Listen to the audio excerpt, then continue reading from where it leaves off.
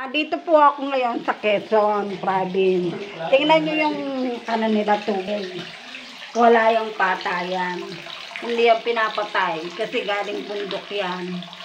O napakalamig oh. Ang lamig tapos ang linis-linis. O nakita nyo? Ang linis sobra. Naiinom yan, diretso inom na. Walang walang halo chemical.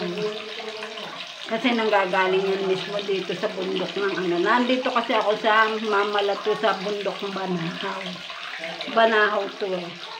Kaya yung tubig na yan, doon ang gagaling. O, di ba? Walang metro yan. Talagang araw-araw, ganun lang yan. Walang patayan. Doon naman tayo pupunta sa Gripo, ha? Mga hindi ko ikaka... Ay, may batang Miss Sariaya. Ah, pupunta tayo dito sa Gripo. Titingnan natin, ha? Tingnan mo ang Gripo, oh. Oh, wala rin patayan ng Gripo.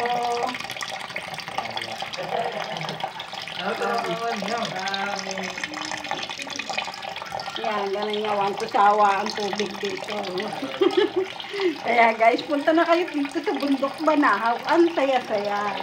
Tapos yung buong paligid, ano, puro gulay. Yan, papakita ko sa inyo. Ayan, napapalibutan ng gulay. Anong gulay ang mga yan? Kamote.